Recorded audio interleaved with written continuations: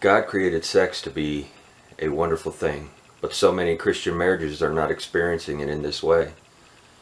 The fact that Christian men aren't following in Christ's footsteps is tragic.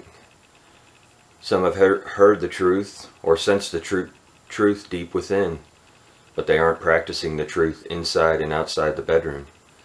God created sex because of its awesome potential to draw hearts together as one, and for its potency in picturing Christ's relationship with his bride, the church.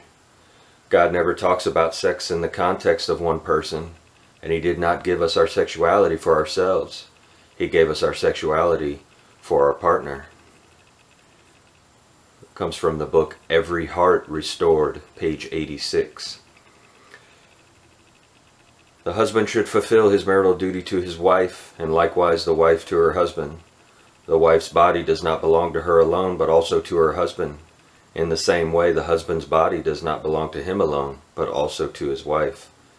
1 Corinthians chapter 7 verses 3 and 4.